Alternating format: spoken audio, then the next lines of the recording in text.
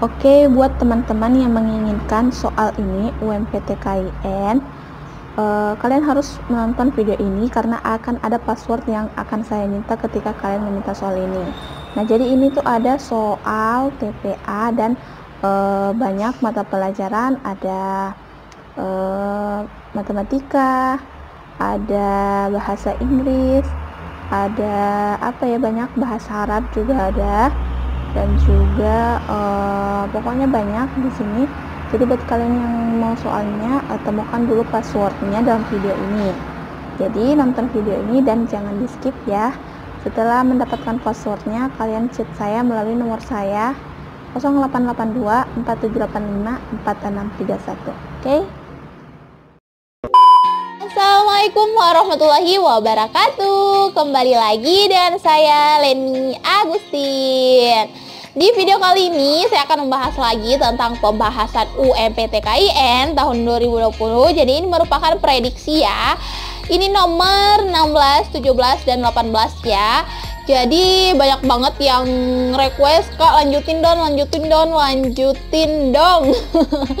Jadi kalau di video kali ini banyak komen lagi suruh lanjut ke part selanjutnya. Saya akan langsung membahas soal-soal yang lebih hot yang lebih lebih hot lah. Oke jangan lupa untuk subscribe channel ini like video ini dan share ke seluruh teman-teman kalian. Kalau kalian belum subscribe harus subscribe ya. Klik tombol di bawah yang bacanya subscribe ya kan? Jangan lupa juga untuk follow instagram saya Leni Agustin 10 dan info.umptkin karena di sana saya sering mengadakan pembahasan soal. Saya juga sering mengadakan tryout gratis ya jadi pantau terus instagram saya Leni Agustin 10 oke langsung saja mari kita nonton. Ini dia soalnya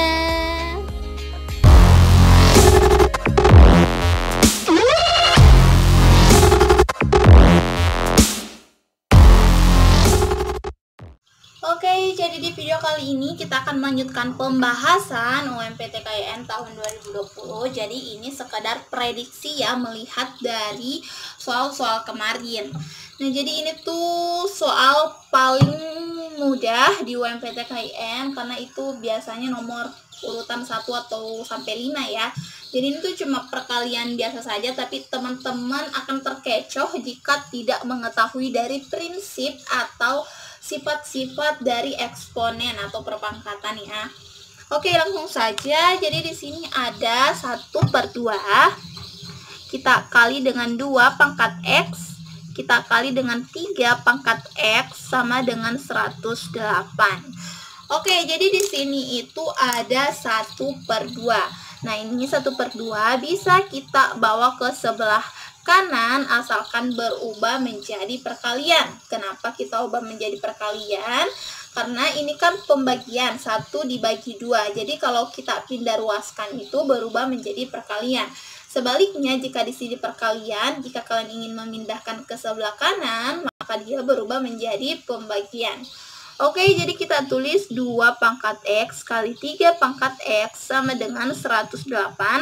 Kita ubah menjadi kali 2. Ini ya, kali 2 ini berasal dari ini. 1 per 2 kita uh, pindahkan ke sebelah kanan menjadi perkalian oke jadi di sini 2x 2 pangkat x kali 3 pangkat x. Nah x nya ini pangkatnya ini kan sama. Jadi bisa kita tulis 2 kali 3 dalam kurung pangkat x sama saja ya ini adalah uh, sifat dari eksponen atau perpangkatan jadi sama dengan 108 kita kali 2 hasilnya 216. Ya enggak? 100 ya 216. Oke. Setelah itu eh, tinggal kita kali 2 kali 3 6 6 pangkat X sama dengan Nah, di sini kita harus mengetahui bahwa e, 216 ini kita harus mencari 6 pangkat berapa sehingga menghasilkan 216. Mengapa saya mengambil angka 6? Karena di sini ada angka 6 juga supaya bisa memudahkan kita untuk langsung e, mematikannya atau proses pencoretan ya di matematika. Oke, jadi kita cari e, 6 pangkat berapa menghasilkan 216. Jadi jawabannya adalah 6 pangkat 3. Jadi 6 pangkat 3 adalah 216 ya guys. Jadi di sini sudah bisa kita melakukan sistem pencoretan karena di sini sudah ada 6 pangkat X dan di sini 6 pangkat 3. Jadi 6-nya kita hapus. Nah, jadi X sama dengan 3. Dari sini ya. Jadi X sama dengan 3. Oke, jadi kita langsung lihat di option saja apakah ada 3. Jadi jawabannya adalah B. Oke, jadi cukup mudah kan teman-teman? Oke, langsung saja ke soal selanjutnya nomor 17. Jadi di sini mengatakan jika x pangkat 2 dikurang 13 sama dengan 12 ditambah 2x pangkat 2. Nah, jadi e, 10x kurang 1 itu berapa? Nah, jadi ini e, insya Allah juga cukup mudah ya. Tapi jika teman-teman tidak mengetahui proses cara kerja, sifat, atau ketentuan-ketentuan yang ada di matematika, mungkin teman-teman akan sedikit terkecoh dengan uh, prosesnya. Oke, jadi langsung saja di sini saya jelaskan. Uh, soalnya itu kita tulis kembali ya, diketahui 3x pangkat 2 dikurang 13 sama dengan 12 ditambah 2x pangkat 2. Nah, ini kan uh, ada dua ruas ya, ruas sebelah kiri dan ruas sebelah kanan. Jadi di sini cara yang pertama kita uh, satukan ruasnya Kemudian kita buat dia sama dengan 0. Nah, maksud saya seperti ini. Jadi ini 3x pangkat 2. Kemudian ini juga ada yang x pangkat 2 kita bawa ke sebelah kiri maka dia berubah menjadi minus. Kenapa? Karena di sini kan positif. Jadi jika dia eh, ya berpindah ruas gitu jadi dia eh, menjadi negatif. Jadi 2x pangkat 2. Kemudian kita kurang 13 Kemudian 12 juga ini kan positif. Kita ubah juga ke sebelah kiri menjadi negatif 12. Jadi kita buat dia sama dengan 0. Oke, selanjutnya langsung saja kita operasikan 3x pangkat 2 dikurang 2x pangkat 2 sama dengan x pangkat 2. Minus 13 dikurang 12 yaitu minus 25 sama dengan 0. Nah, setelah kita mendapatkan hasil seperti ini, tinggal kita faktorkan. Jadi kita buat dua dalam kurung. Nah, di sini kan x pangkat 2. Jadi di sini sudah jelas x kali x untuk mendapatkan x pangkat 2. Nah, di sini kan minus 25. Jadi di sini pasti e, eh, 5 kali 5. Di sini ada positif dan di sini ada negatif. Nah, ini adalah trik e, cepat ya untuk memfaktorkan. Sama dengan Jadi kalau bisa teman-teman catat supaya bisa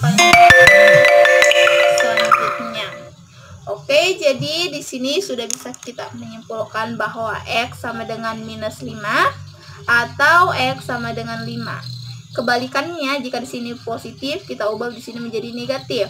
Di sini negatif, di sini positif. Kebalikannya. Oke, jadi di sini kita sudah mengetahui nilai dari X. Kemudian pertanyaannya itu 10X kurang 1. Nah, jadi kita uji dulu ya mengapa harus diuji? Karena di sini ada 2x kemungkinan ya. Jadi untuk menguji 10x kurang 1 itu berapa? Nah kita uji dulu yang e, minus 5 untuk x sama dengan minus 5 maka 10 kali x jadi kita masukkan minus 5 kurang 1 10 kali minus 5 minus 50 dikurang 1 sama dengan minus 51 Oke, jadi ini untuk X yang minus 5.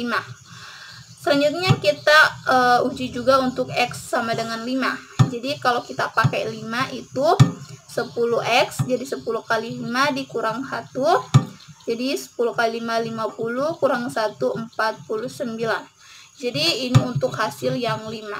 Jadi ada dua jawaban yaitu minus 51 dan 49. Kita lihat di option pasti hanya ada salah satunya. Oke, antara minus 51 dan 49. Nah, jadi jawabannya ada hanya D, minus 51. Oke, jadi untuk uh, mendapatkan soal UMPTKIN tahun kemarin itu passwordnya yaitu uh, nama buah-buahan yaitu apel.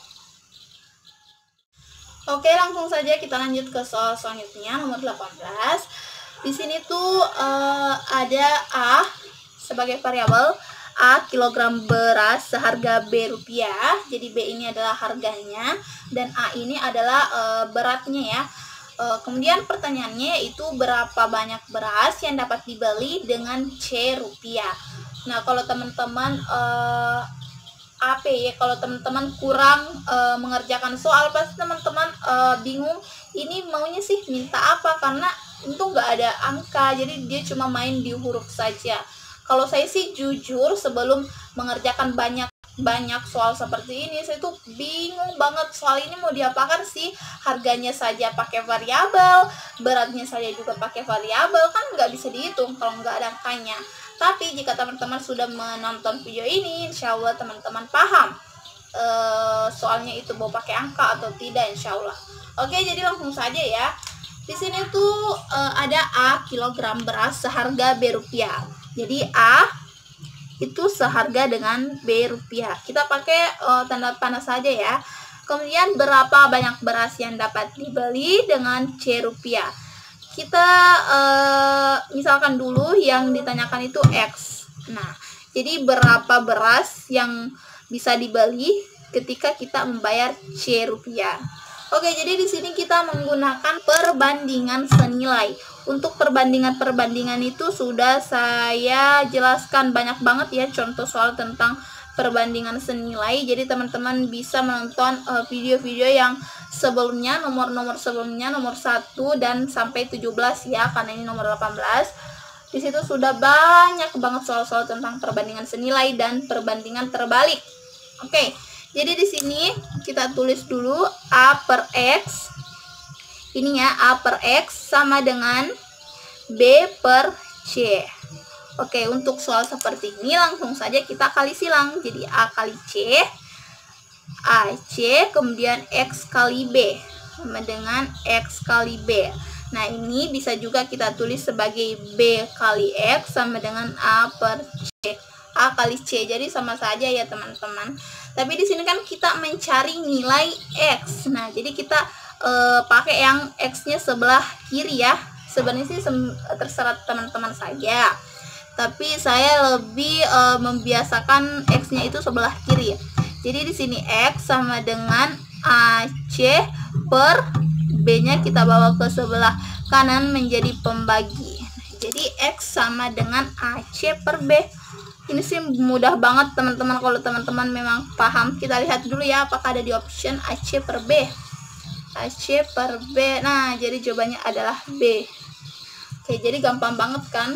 tinggal A kali B X ke C terus kita uh, dikali silang terus cari X deh gampang banget Insya Allah kalau soal seperti ini teman-teman sudah paham itu nggak ada 5 detik kalian sudah bisa kerja pasti deh Yap, segitu dulu video kali ini. Jika teman-teman membutuhkan video selanjutnya atau part selanjutnya, komen di bawah ya. Kalau banyak komen, langsung saya buat deh videonya. Karena kan lebih semangat kalau banyak yang dukung. Oke, jangan lupa untuk subscribe channel ini. Kalian sudah subscribe, kalian harus subscribe ya. Jangan lupa juga untuk like video ini dan share ke seluruh teman-teman kalian yang akan mengikuti UMPTKIN juga. Jangan lupa untuk follow Instagram saya Leni Agustin 10 dan info.umptkn karena saya juga sering mengadakan pembagian-pembagian voucher buat teman-teman yang kehabisan kuota untuk menonton video saya. Gak bercanda, oke? Okay? Langsung saja. Sekian. Wassalamualaikum warahmatullahi wabarakatuh.